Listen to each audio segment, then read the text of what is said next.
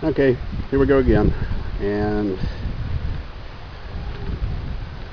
you can see the tomatoes are doing really well. The bell pepper. Those are cucumbers. I'm trying to train these guys to get up on top here. Afford a little bit of shade in this hot Louisiana heat we got. The uh, this is a yellow squash. And as you can tell it is doing really really well. Uh, all these plants are very pretty. And uh, I've got some that I put in there a little earlier. And I've already got some. I'm fixing to cook up here pretty soon.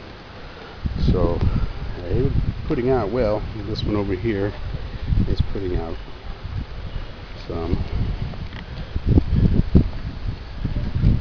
Got tomatoes, not big ones, but they're doing really healthy. I don't know if you can see the color of that, but that's what you're looking for. And there's one right there.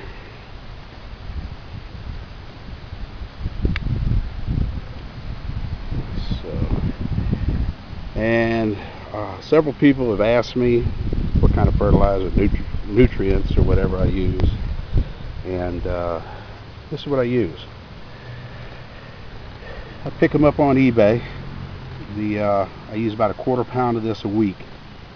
It's very good. It's a 20-20-20, uh, and it has done very, very well, as you can tell.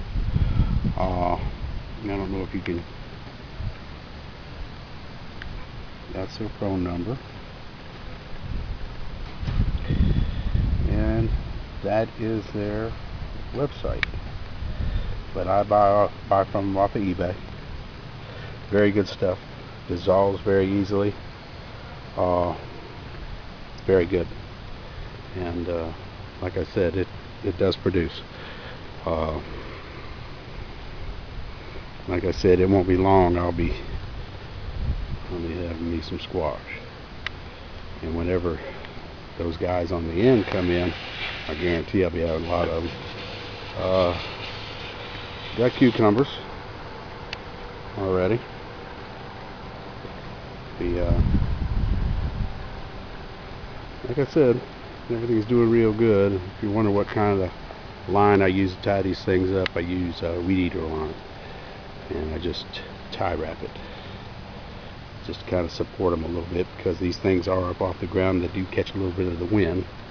But I've really never had no problems so. Thank you for viewing